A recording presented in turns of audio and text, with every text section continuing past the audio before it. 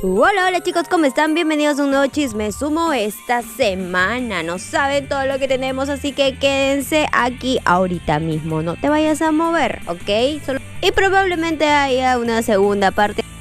Vamos a empezar porque ya saben que Camila y Eva Luna van a ser papás, ya vieron su canción Índigo, todos estamos emocionados, esa canción tiene millones, vimos algunas reacciones en su video, pero ya nos muestran la reacción en sí cuando se enteraron sus hermanos, las novias de sus hermanos, sus papás, que iba a crecer la familia. Bueno muchachos, digan, vamos a ser tíos. ¡Eh!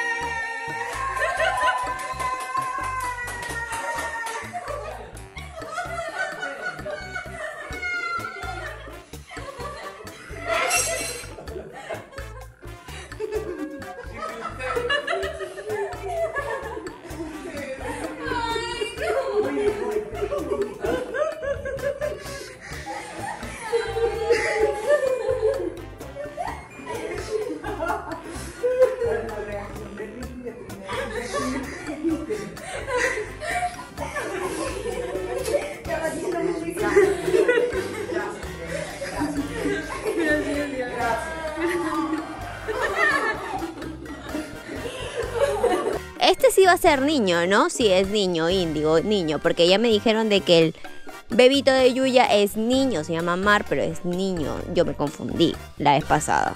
Resulta que a la Addison le bloquearon el TikTok y también al Mostri Luca de paso. Nos enteramos. Eso TikTok está loco. TikTok es loco, amigo. un día tienes millones y te bloquea y te fuiste. Te fuiste de nuestras vidas. Así que la Addison lo tomó deportivamente. Como ella es millonaria, no le interesa un TikTok, manos. ¿Qué vamos a hacer? Y dijo: Es momento de conseguirme un trabajo. Bueno, seguro le devuelven la cuenta. No sé si al Mostri Lucas le devolverán, pero a la Addison sí. O tal vez se va a otra aplicación donde le paguen más. Lamentablemente el JD Pantoja de verdad yo quería seguir viendo bailar al JD pero ya no se va a poder. José Gregorio se va a quedar en casa porque lamentablemente tiene COVID, como les dije en mis historias de Instagram. Familia, pues les tengo una noticia. Una noticia algo mala. Les voy a informar porque igual se van a enterar por algún otro medio. Voy saliendo aquí de las oficinas de Telemundo porque Ah. Recuerdan que les platiqué que me sentía muy mal, que estaba enfermo. Pues resulta que tengo COVID. Familia, pues desgraciadamente salí positivo también en la de sangre, así que pues, vamos a tomar las medidas que, que, me indican. Sí, me voy a aislar y voy a cuidar mucho a mis hijos con medicina preventiva. Qué pendiente amigos porque yo sí quería que sigan en Así se baila. Ahora solamente queda esperar que se recupere para que vuelvan a bailar. Ya habían hecho truco, ya la vez pasada, habían hecho truco y todo. El amigo Andy Glam decía que qué pereza decir las cosas que están pasando, o sea, ya si salió el chat, me llega altamente. Igual tuvo que descargar porque los fans le estaban pidiendo. Es más, por ahí dicen de que este comentario es una indirecta para el Rod Contreras para que ya salga, salga de donde está. Entonces a mí no me vengan a decir que ustedes jamás han hecho eso. Y yo sé que estuvo mal el decirlo, porque pues las personas involucradas son personas públicas, que yo no me debo de meter en sus vidas, obviamente yo respeto cada quien pues su intimidad, sus gustos, pero a mí no me da vergüenza decir que a mí me gustan los hombres, a mí no me da pena decir que soy gay. Y yo respeto a todas las personas, pero a mí no me van a hacer sentir mal porque yo estoy orgulloso de lo que soy, yo estoy súper orgulloso de la comunidad en la que, de la que formo parte y no debemos de sentirnos menos jamás. No sé si es una indirecta o no es una indirecta, solamente se estaba refiriendo a él mismo, pero el Rod Contreras lo dejó de seguir, o sea, ya no son más amiguis. Pero él hasta en su row salió, ¿no? Hablan de mí. ¿Se habrán dado el besito o no se habrán dado el besito? Otros que volvieron a emocionar a sus fans fue Fede Cole, Fede y Nicole. Lo que pasa es que el Fede no tenía con quién hacer este trend, entonces lo hizo con su ex novia. La Nicole estaba contenta y luego reaccionó más contenta todavía. Pero los gestos y esas reacciones fue que uno se queda mirando como que estos parecen que se quieran enamorados o no. O sea, uno se queda viéndolos es, hay tanta complicidad, tanta química que es como que, ¿será o no será? Amigos, nos confunde, por favor. Pero bueno, seguro se casan de aquí a 10 años. Ahí estaremos. Esta vez sí estaremos. Lo que no sé qué va a pasar va a ser con los chicos del poliamor porque salió el vómito verbal. O sea, la gente empezó a hablar. Resulta de que Basolar se había ido del grupo, ¿no? Entonces siempre en los comentarios decían, no, Basolar se fue con su ex, nos engañó, fue infiel. Yo de verdad pensé que era una broma entre ellos. Pero no, resulta de que sí se fue con el ex y acá lo explica Valentino. Hola besitos, creo que es hora de contar lo que pasó con Basolar, no lo habíamos hecho por respeto a ella, pero en vista de que se ha hecho mucho la víctima y les ha pintado una historia que es muy falsa, queremos salir a hablar. Ella no se fue porque Freider llegó al grupo, ella se lleva muy bien con Freider, demasiado bien, de hecho ella se fue porque se fue con su exnovio, el cual nos dijo que era su amigo, que lo quería, que estaban haciendo las cosas bien, que lo dejáramos vivir en la casa y él todo el tiempo le dijo como vámonos, vámonos, vámonos, deja ese proyecto tirado. Ella se fue una mañana con su exnovio y cuando nos levantamos no estaba en la casa y nos avisó a todos por WhatsApp. Lo dijo, lo dijo tres días antes de que se cumpliera el arriendo, le dije que cómo nos iba a dejar tirados en la calle, que eran dos personas que pagaban arriendo, nos dijo que no le importaba que nos fuéramos a la calle, que nos mudáramos a otra casa, que buscáramos qué hacer, sabía que venía el rot, nos dejó todo tirado, borró los videos de YouTube, le preguntó a Lidia que iba a hacer en YouTube y hizo las ideas de YouTube ella, de verdad, hizo cosas horribles y se fue con su ex. Entonces la Basolar dijo que, ¿por qué están hablando así de mí? O sea, ¿por qué si ustedes decían que me querían? Voy a explicar y voy a sacar las cosas con pruebas. Si salí del poliamor, sí, ya no estoy con el poliamor. Bueno, voy a comenzar con lo que están resaltando mucho de que yo me fui porque no me estaban dando seguidores. Es totalmente falso. Así que les voy a mostrar cuál fue el mensaje de WhatsApp que yo les dejé el día que me fui se dieron cuenta, yo mandé el mensaje temprano porque tuve que bajar a la ciudad a maquillarme, tenía unas fotos y tenía otros compromisos durante todo el día y por eso decidí bajar mis maletas conmigo, ya que yo tenía entendido que el 6 de cada mes se terminaba el contrato donde nos estábamos quedando. Además, ya habíamos quedado en que íbamos a hablar todos para terminar de solucionar ciertas cosas, pero nunca se hicieron. Así que ese día yo ya les había anticipado una semana antes que me iba a ir ella no se fue así de la nada, ella habló. Es más, iban a tener una reunión y muestra las capturas de que nunca se llegó a concretar la reunión porque todo el mundo paraba ocupado con su vida. Entonces cuando ella ya se retiró, pues ellos empezaron a hablar mal de ella. Y la parte donde Valentino dice que a ella ya no le sumaba seguidores, Basolar le dice, a ver, sácame alguna conversación donde yo te diga eso. Nos dijo, es que ustedes ya no me dan seguidores como antes. Cuando yo la conocí yo tenía 370 mil seguidores y ya no tenía ni 10 mil. ¿Tú crees que yo te busqué a ti? Y todo lo que leímos nos dijo, es que ustedes ya no me dan los seguidores como antes.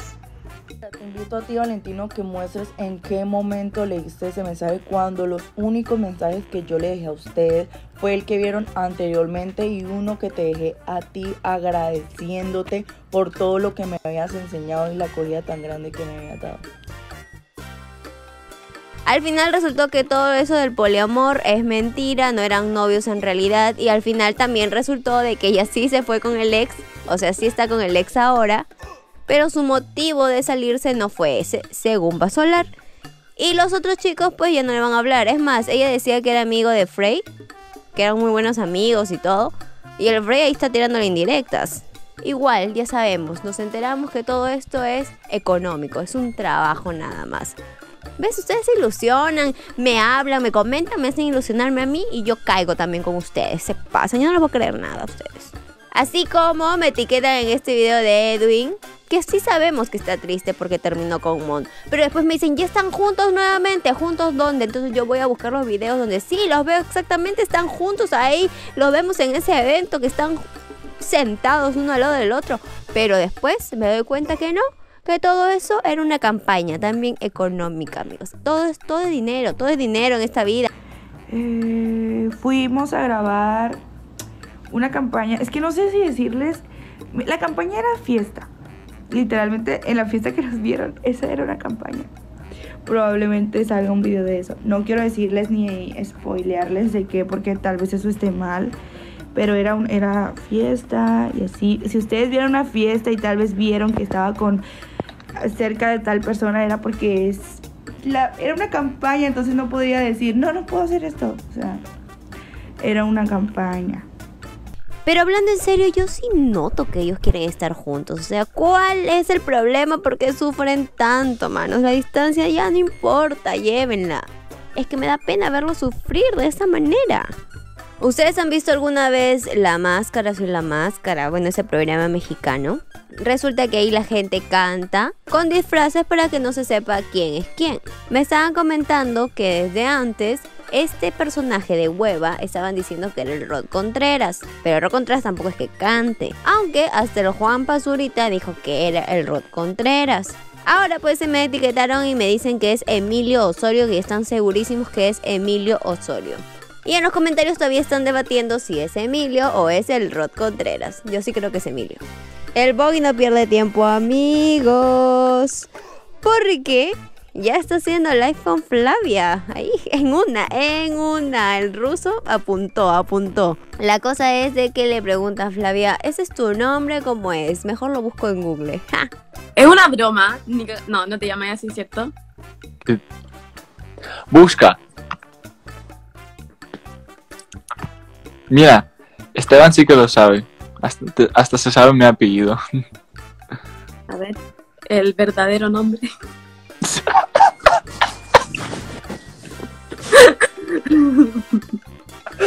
no mames. Lo estoy buscando. A ver. Bogdan Gnatovic.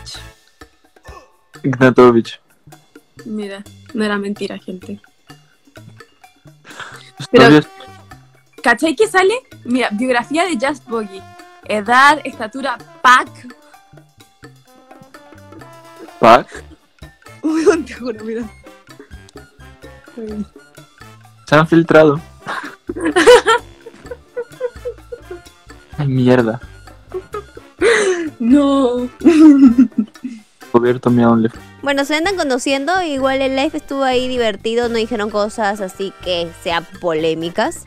Y ya le anda comentando, ¿no? Con ese tema de Google porque obvio da risa que no le haya creído que ese es su nombre. Uy, manos, uy, manos, uy, manos. El Samuel metido en otro problema. Otro problema, otro problema. Bueno, este chico sacó como la verdadera cara de Samuel López. Entonces yo me puse a ver el video y dije, ¿qué está pasando? Y resulta que Samuel siempre anda pidiendo cosillas por las redes sociales, sobre todo en Instagram. Es como que le gusta a un chico y va, le habla, pero ya sobrepasa la conversación. Entonces este, este muchacho de acá le hizo el pare. Le dijo, mira, conmigo no va a pasar eso. Esta información es para José Pérez, es la persona que me ayudará a difundir el caso entre Samuel López y yo.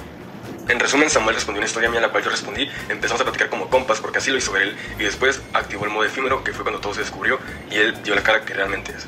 Al momento de activar el modo efímero, él empieza a mandarme fotos mías de mi Instagram, además de TikToks míos mencionando que se me marcaba bastante la parte de abajo y diciendo que mi físico es tal, que le gusta tal, tal y tal, y que años tenía y la chingada. Entonces, a mí me molestó bastante la intención que tenía al principio y la intención que terminó dando y cómo se mostró, o sea, el tipo de persona que realmente es fuera de lo que es como influencer.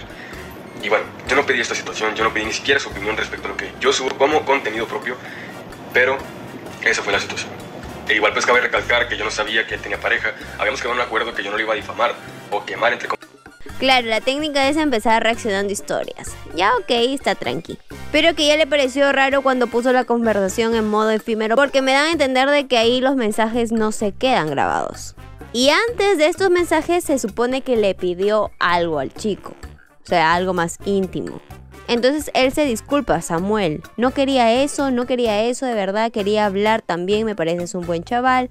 No lo hice solo por eso, en serio. ¿Crees que no lidio con personas como tú? Fuiste directo al grano. ¿En serio no? Y se entiende, tienes necesidades y demás. ¡Ah! Por favor, perdóname, perdóname, escúchame. Y todavía le pone, no te asustes ni que fuese a subir a mis historias. Es un malentendido, le sigue pidiendo perdón Samuel. Borra los screenshots, por favor. No quería acabar mal, te dije que eras hetero y que estaba todo bien. Que de compas, pero lo siento. Sé que me porté mal. No quería aprovecharme ni nada, de verdad de corazón, no quería hacer nada malo hacia ti. Por favor no me hagas daño y me hicieron mucho subiendo una vez mis videos un acosador que tenía. Tu intención, ahí nos dice cuál era la intención según el chico de Samuel, era que yo te mandara algo y la fachada fue platicar hasta que me pediste tal cosa. No, no te victimices, güey. Sé que no estás tonto, sé que después de esta plática ridícula volverás a tus intenciones con demás morros, o sea, con otros chicos. Entonces él le sigue pidiendo perdón y él le dice, ya, o sea, no lo dices en serio, lo dices como para que yo no diga, no hable más. Y es la presión que has de sentir por lo que puedo hacer con tu imagen. Entonces Samuel sigue, me gustaría conocerte, entiendo, no, no es la presión, solo pido por favor que me perdones y te respeto. Si esto es verdad, a ver, vamos, vamos a que hay gente que se conoce por las redes sociales y después tienen algún tipo de relación, eso es cierto. Pero Samuel, mi vida, Samuel, piensa pues, mano, eres una figura pública. No te puedes vender de esa manera con la gente gente que ni conoces. Deben saber a quién le mandan cosas, por favor. Yo soy de la idea que no manden, pero si quieren mandar, por lo menos conózcanla. Bueno, ahí está el cuento con Samuel, ahorita sigue con Ostep. Lo que pasó con el chico anterior, pues parece que nada, porque Ostep le hizo un videíto le puso te amo, así que todo está tranquilo en su relación. No les chocó, no les llegó, no les topó al amigo Augusto le siguen diciendo infiel. Entonces él nos responde, ¿quién les metió eso en la cabeza? Bueno, técnicamente, técnicamente amigos, no fue infiel porque no estaba en una relación. Así que yo les aconsejo de que cuando quieran algo serio con alguien, pidan exclusividad, si no van a estar diciéndose que se engañaron cuando no son nada. Y me están diciendo que estos tweets van relacionados, que una le respondió a la otra según la Fer pone, vieron que solo bailando y sonriendo sacó likes. Perdón, es que tomo las cosas con humor. Pero esto lo puso después de haber bailado el la ta ta ta ta, ta ese, ese video que no quiero ver nunca más, esa canción. Sí. Bueno, relacionan de que Nicole dice ridis, o sea, de ridis, ridículo, ¿no? Ridis. Que era para la Fer y que la Fer le dice, güey, ni te topo se están peleando por algo o por alguien, no me digan, no me digan, no lo hagan. Piensen, piensen antes, piensen por favor, no vale la pena. Igual la Nicole pues dice que ignora cuando la comparan con alguien. Debe ser bien feo que todos sus comentarios sean comparando con alguien. Y ya, bueno, hizo este videito y le pusieron ahí, tú eres natural. Y ella puso un like. Así está la cosa en la vida de estos chicocos. Ya venimos con la segunda parte, sí, venimos. Ahorita venimos, ahorita mismo venimos.